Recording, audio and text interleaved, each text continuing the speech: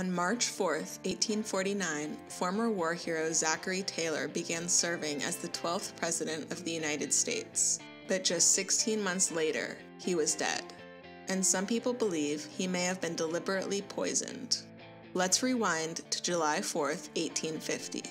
President Taylor woke up in the White House ready to celebrate Independence Day. After reportedly eating a couple of green apples, he attended a ceremony in Washington, D.C., and then returned home to the White House where he consumed pickles, a big bowl of cherries, and drank a glass of iced milk. Unfortunately, the food didn't sit well with him. That evening, he felt sick, and the next day, he suffered from bouts of bloody diarrhea. His doctor diagnosed him with a type of cholera and prescribed a mercury compound medication as well as opium. But President Taylor only got worse and five days later, he was dead. To this day, we don't know for sure what killed him.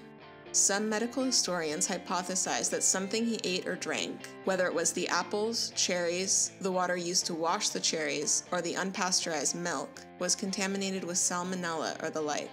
But some people think President Taylor may have been intentionally poisoned. A few decades ago, a professor and author named Clara Rising studied the gastrointestinal symptoms that Taylor had experienced before his death. She had a hunch that he may have been suffering from arsenic poisoning. After all, Taylor had made many political enemies thanks to his views and policies on Texas, California, and slavery, and her theory was that someone had murdered the president. So she convinced Taylor's closest living relative, as well as the coroner in Louisville, Kentucky, where Taylor's body was buried, to have the body exhumed.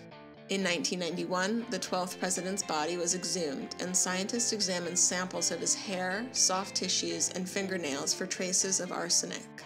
The verdict? Taylor did not have enough arsenic in his system to suggest arsenic poisoning, and his body was reburied. Although food poisoning of some kind seems to be the likeliest explanation for Taylor's death, no other poisons were tested, and we'll probably never know exactly how he died.